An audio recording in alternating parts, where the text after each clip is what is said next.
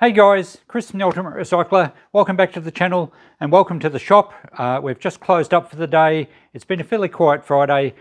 Christine's gone home, but I'm going to do an unboxing for you guys. I've got to get through some of this stuff I've stashed away. So come with me and I'll show you what I'm going to do. When we had to move my shop, we shoved things everywhere. So this counter has, uh, it's actually in the shop. It's on the way to the kitchen area, which is um, just sort of staff only. But underneath this counter, we just shoved all sorts of stuff. You know, I had people helping me move things. Um, everyone was saying, where do you want this? Where do you want that? And I'm basically just saying, find a spot. We'll sort it out later. So I have sorted some of this. I did have some bookwork in some of these tubs. Uh, and now I'm getting a bit more organised as we free up the tubs. I've got a little area for my scrap metal stuff, which I find at the shop when I'm sorting out stuff.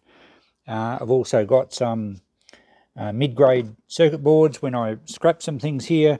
There's a tub for the old batteries, which I'll take to the transfer station. Uh, so I'm gradually working along this area, sorting out. And the next box is that one.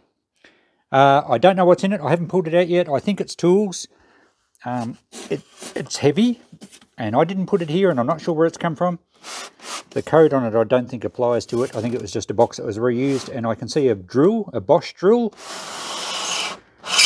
Okay, pardon the terrible polystyrene squeaks. All right, we have a bit of an assortment. There's not a lot of stuff, so I don't think this will be a long video. We obviously have a Bosch drill, which I don't need, so we'll test that out and sell it. Bit of other, uh, yeah, a few other random bits. Let's get it up on the counter and we'll go through it. So I'm really enjoying these unboxings. Uh, not only am I finding stuff that I'd forgotten I owned, I'm actually finding a lot of stuff that I didn't know I owned. And it's fun going through them with you guys. It helps me keep motivated and I'm finding some good stock for the shop. So this is a, a quite a good Bosch drill. It's probably a 1970s one, looking at the plug. Uh, it's been well used, but still should have a good resale. We'll take that home and put it on our appliance tester and just make sure it's safe and give it a bit of a test. So I will take that one home. We'll work out a price for that one later. I certainly don't keep need to keep any more drills, especially now that I've got my um, Makita cordless range. Now this is a, many of you will recognise this, it's a meat mincer, very common items. It's got a couple of spare cutter blades, uh, it's designed, if you haven't seen one, it's designed to clamp on a kitchen bench and I can't actually crank it because the blades are all wrapped up here. And, and, basically you mince meat with it. You crank the handle, it has a worm drive in there. You can put different size cutters on the end. And uh, yeah, it's designed to mince meat. Some people still use them for fishing burley or if they make their own sausages at home. Uh, they're made out of cast iron. This one's in pretty good condition. It's probably English made. And they sell quite well. Uh, I would expect to get $25 for that without any problems. It doesn't even, really even need much, perhaps just a little bit of a clean up. I'll take these cutters off and um, reattach them a bit neater so that people can actually turn the handle. And that'll go in our kitchen department. We'll easily get $25 for that one. So it'd be nice to do a list out of this box too. I might have to do a bit of research on some of it. This one is a, I think it's called a, it's a geologist's pick. Uh, it's East Estwing, which is a really well-known, or at least a really uh, quality hammer brand that I know of. I know they made good claw hammers, carpenter's hammers. Um, it's got a rubberized handle grip, which is still quite good. The steel will be great quality steel in it. That really doesn't need much of a clean up other than I might just give it a bit of a wash and just rub a bit of steel wool over it just to present it a bit nice, more nicely. I will check eBay on that one, but I would think that's probably a $50 item. Uh, not that I know many geologists, but uh, I have, had these in the shop before and they do tend to sell. It might even be worth eBaying. But uh, we'll give that a clean up and do a check on that one. All right, this box won't take us very long. We have some clamps. There's a G-clamp and there's another one. I think it's the same brand. And I'm taking those home because one can never have enough clamps. Uh, Krista and I had a bit of a joke. We were watching some guy on YouTube doing a lot of woodwork and, and repairing. Oh, he was actually doing some restoration work on a 300 year old barn in France. Really interesting. Very good craftsmanship. And they've got a row of woodwork clamps as long as what my shed is. So if you do any woodwork, you, you can never have enough clamps. A lot of those were the ratchet style ones. This is obviously the old style G clamp. It's um, made in Australia. Lock. High tensile forging rolled thread. Looks like a really good quality Aussie made clamp. I would expect that they would probably be a $20 each clamp. Uh, certainly going to be a lot better steel than what you'd buy these days, but they will be going home. Well, I'll write down 20 bucks each on them. I don't think I'd have any troubles getting that for them. Uh, the biggest thing in this box is a car jack. Now, this is the old scissor style car jack. It's probably a Japanese vehicle, maybe a Toyota. I think they were fitted with lots of different cars. Um, vehicle model code. Oh, Honda Civic, Accord, Prelude and Quintet. Uh, it's probably 1980s, maybe 90s. I'd have to look up when the Honda Accords came out. Uh, it does give the model, so I should be able to date it from there. I will check eBay, only that car stuff, as it gets older, people, uh, and, and as the model of car becomes collectible, people want to dress it up with the original kit. Now, it's quite possible, I don't think Honda Accords are collectible by any means, but once they start getting older, people like to have them with all their original accessories. Uh, that we don't have the handle for it's any trouble, but a lot of times these were just a bent rod with a, um, a kind of a, a bit of a kink and a handle thing at the end. I reckon I'll check eBay. If I don't find any um, results there, I'm going to put it in the shop for $10. Um, it looks like it's in good order. The thread's not damaged. It's probably like a lot of car jacks that may have only ever been used once or twice. So um, Yep, it's a useful item even if you don't want to put it back in a car. But I'd say 10, but we will do some checking. Okay, we're at the bottom of the box already. This is a, a foot valve from a, a water pump. Uh, often these were attached to the end of a long piece of poly pipe and hung in the dam or something when farmers were pumping out of a dam or in a channel. Obviously, it's it's got a one-way valve in it so that uh, so that you don't have to prime the pump each time as it sucks water out and up the line. The valve here closes so the water can't flow back down the line and out, which means that next time you go to start the pump, the suction line's already full of water. Obviously a little bit of a, a filter here to so it doesn't suck up fish and reeds and any other stuff that's likely to be sucked into the pump. So it's a solid brass. It's actually made in, oh, it says Warrnambool, Victoria. So it's Australian made. Uh, I think it's probably worth more than brass. Now, the thing weighs, if I can just do an estimate, I reckon it weighs at least a kilo, probably a kilo and a half. Uh, the price of brass these days, that's about $10 just for brass. But I think uh, a farmer may find that useful. It's still going to be in working order. So $10, I'm not going to scrap it. I think we'll put 20 on it in the shop. Okay, this is an interesting and dangerous looking item. It's a meat cleaver. It's uh, branded Henry Bocker, which I think is German. I've had tools, or at least woodwork tools with Henry Bocker on them. Uh, it's going to be really good quality steel. It actually feels quite sharp. Uh, it's been used and abused a bit. Uh, someone's hammered on the top and flared it out a little bit. That could be dressed up with a file. Probably the original handle. Um, I think that's it's just got some really light surface rust on it, but it actually would clean up quite well. I'll again check eBay. I use eBay completed items a lot for valuations. Even if I don't find the exact thing, it just gives me a guide. And I will do a video on that one time. I might have done one a long time ago, but it's a great resource for valuing things. Um, my gut feeling on that, it's probably a $50 item. Good German quality, undamaged other than a little bit of thing, uh, abuse there that could be dressed up. I'll estimate 50, we'll do a check. So this little box, even though it doesn't have many things in it, it's going to add up to uh, a bit of value. We have some shears, some straight bladed shears, appear to be in good order. Actually, they feel quite good. A little bit of surface rust. There'll be a brand on those somewhere. They're going to be of reasonable quality They've got a bit of age to them. I'll give them a little bit of a scrub up with steel wool and soapy water.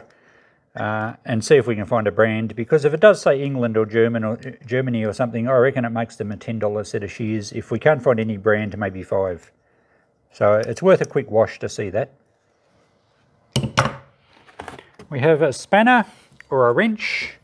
It's a Sidchrome. It will be an Australian one. Uh, 1 inch AF that end, 15 16 that end. Its uh, Sidchrome spanners are quite collectible and they sell very well. They're great quality tools. However, this these open enders and the larger sizes are actually quite difficult to sell. There's just not the um, the demand for them, but it's worth cleaning up. That will clean up really nicely. The chrome will polish up quite well just with a little bit of fine steel wool.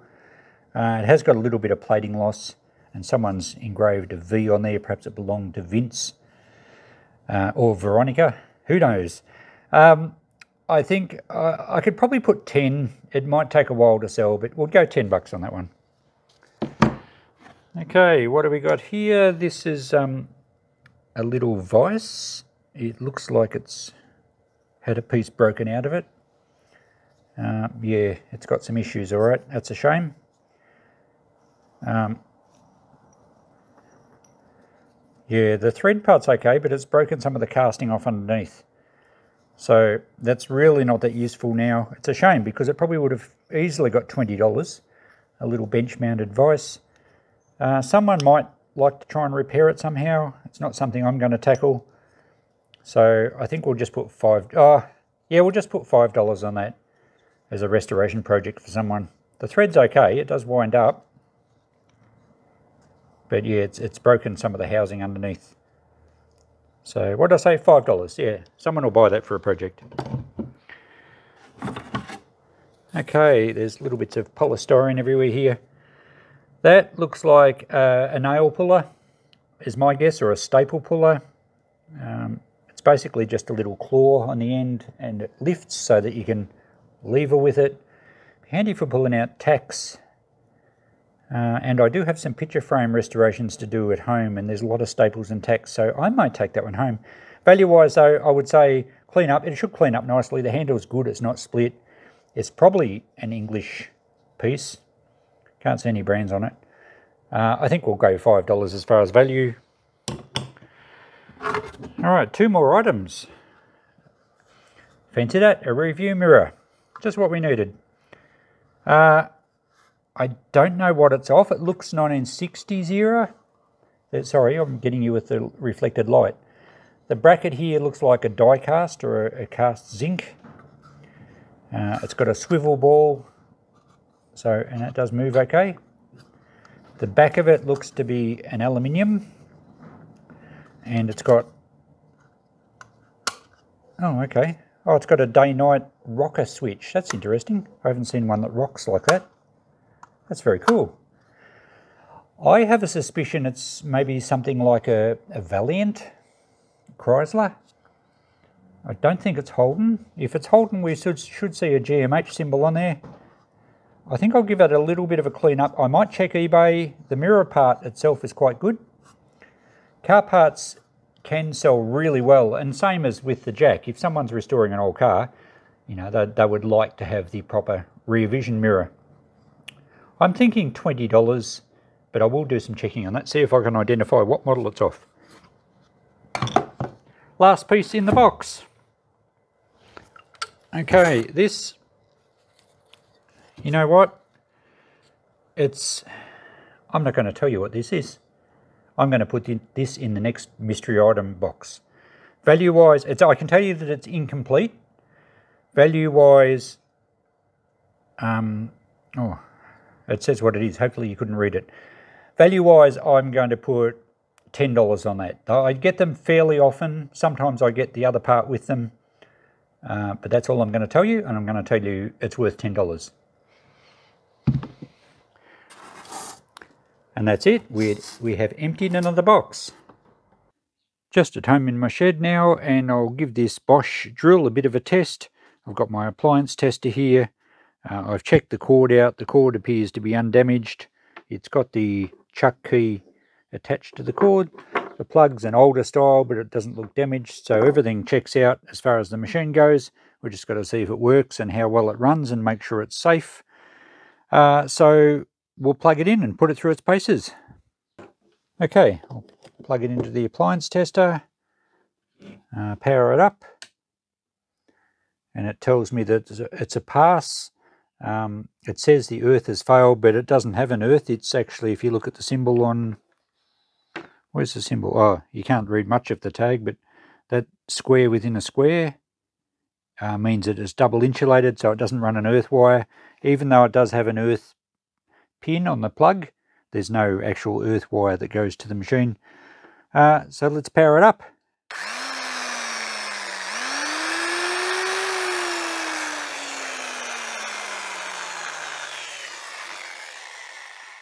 That sounds really good actually. Now it's a two-speed drill. I'm not sure how you change speeds. It seems very stiff there. Oh, there we go. So it's got a two-speed gearbox in it.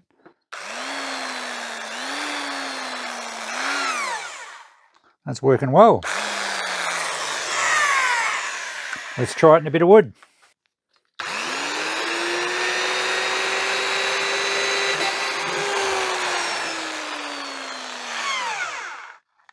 Excellent, that's great. There's lots of torque.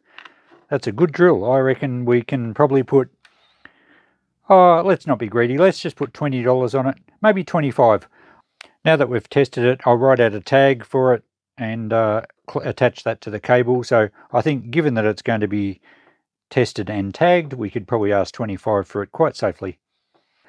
Let's give it a little clean up on the chuck. They always look nicer if the metal's not rusty. Um, so if we actually lock the trigger on.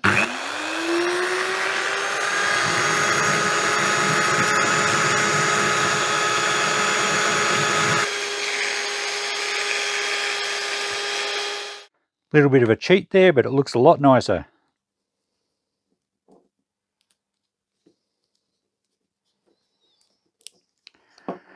And there we go, safety tested and tagged. And I've changed my mind on the 25. I'm going to go for 30 bucks. Have a look how nicely that chuck cleaned up. It looks great. Okay, back at the shop now, and let's just finalise this little um, box lot. I haven't found out what the mirror suits. I did uh, place some photos on some Facebook groups, and no one has been able to identify it. At least no one's volunteered any information that can help me. So I'm going to price it at $20. I think it'll sell at that. It does have a bit of a scratch in the glass there. A bit hard to see there and also it is a little dented in at the top there it's been kinked over or something but it's probably still usable um, I think we'll get 20 for it we'll see how we go uh, these shears were English made I cleaned up the jaws here and you probably won't be able to pick this in the camera because it's a little bit pitted but it does say Sheffield England it's probably upside down actually anyway I think they're worth 10 they operate quite nicely the oh, I only left this out to show you how nicely the meat cleaver cleaned up. And you can see a trademark there, crossed arrows, or at least a cross with an arrow through it. So a nice piece, that one. I'm sure we'll get our 50. I think I put 55, allowing for people to haggle. I usually do that. If I want 50 for something, I'll put 55 and people will say, will you take 50? And I'll say, sure. And sometimes I say, will you take 30? And I say, no. Uh, the spanner, I put 10 on it, but I just thought I'd show you how nicely it cleaned up. And all I did was just some fine steel wool in some soapy water, and it just polishes polishes them up really nicely. So we should get 10 for that. Uh, I did originally say $5 for this. Uh, I think it's actually a tack remover. Um, and it is English made. It's nicely branded. Cleaned up really well. Uh, I'm taking it home still, uh, definitely. Even Christine thought it might be handy for removing tacks from upholstery jobs. Uh, I probably should have said $10 on it, so I've upped the price from 5 to 10 but I am taking that one home. So that brings us to the notepad. Let's scan through here. Uh, price is pretty well as mentioned. I did up the price on the Honda Carjack. I checked eBay and there was quite a lot on there and every one of them sold and they're quite heavy. So they were selling for 20 and $30 plus postage. So I've upped that to $20 in the shop. I think that'll sell quickly. The brass foot valve, I did put a note on screen that it was 1.3 kilos. So um, I wasn't bad with my guess there. So we'll try for 20. Uh, other things as mentioned, I think. Uh, so that brings us to a total of $300. Who would have thought there was $300 in that little box? $300 of value. And the box, as you saw, wasn't chock-a-block full of stuff. It was fairly sparse. But some really good gear for the shop. A few things to take home. Of course, the G-clamps as well. Uh, a couple of nice items, the meat cleaver and the geologist's pick we put 50 odd each on. So allowing for a couple of discounts, we're going to clear $270, $280 from another mystery box of random tools. So thanks for watching guys, another box unpacked. I hope you've enjoyed these videos. I've got lots more to do and $300 from one box, there's obviously going to be boxes that are a lot less, but there's going to be boxes that are more. So I'm looking forward to getting through some more of them. We'll see you for another one soon. Bye for now.